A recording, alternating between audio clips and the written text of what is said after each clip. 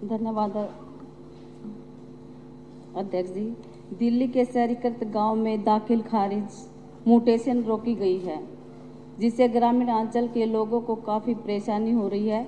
परिवार बड़े होते जा रहे हैं, बुज़ुर्गों की प्रॉपर्टी उनके बच्चों के नाम पर दाखिल खारिज नहीं हो सकती, नहीं हो पा रही है। अगर किसी को अपने बच्चों की पढ़ाई या किसी के इलाज या घर के किसी भी ज़रूरी खर्च के लिए अगर पैसों की ज़रूरत हो तो ज़मीन के आधार पर दाखिल खारिज के न होने के कारण लोन आदि भी नहीं ले सकते हैं।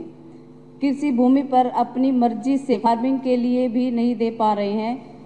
अपनी ही ज़मीन पर डेयरी उद्योग, फ़ार्मिंग उद्योग, कृषि पर्यटन के लिए भी या किसी तरह के निवेश के लिए भी ये लोग कोई कागज़ प्रदान नहीं कर पाते हैं। क्योंकि मैं भी एक किसान की बेटी हूँ, इसलिए अक्सर मुझे लोग बाहरी दिल्ली से मदद की गुहार करते हैं, जो आज मैं आप सबके समक्ष रख रही हूँ। कृपया इस पर उचित संज्ञान लीजिए।